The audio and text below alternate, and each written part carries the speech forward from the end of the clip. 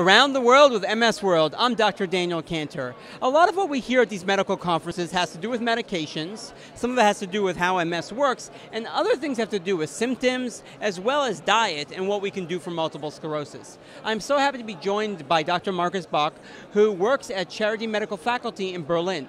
Tell me, what did you find in your study? What were you looking at exploring?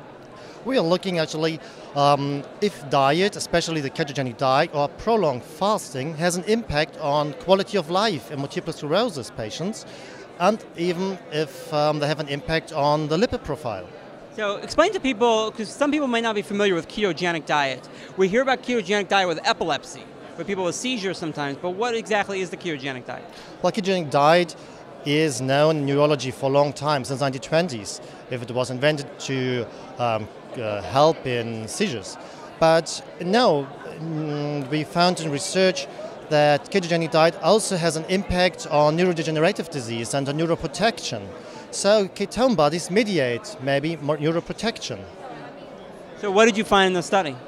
Well, we included 60 patients and we found that those patients on a ketogenic diet had uh, increased quality of life, especially physical function and uh, pain. They had reduced pain.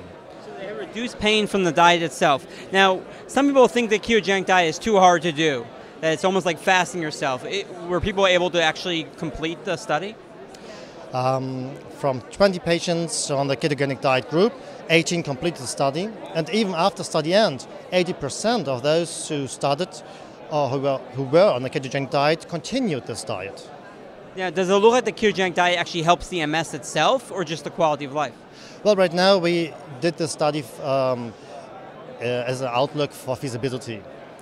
Of course, we think that there may be some uh, mode of action which is useful in therapeutics this is actually very exciting because in recent years we've seen a lot of new data about diet. Several years ago we heard about one of the diets that's a low-fat vegan diet, the McDougall diet, and after a year it didn't help the MS relapses or MRI, but it reduced cholesterol, reduced blood pressure, and improved fatigue. So that's exciting data, and this is really exciting in six months you were able to see something like this.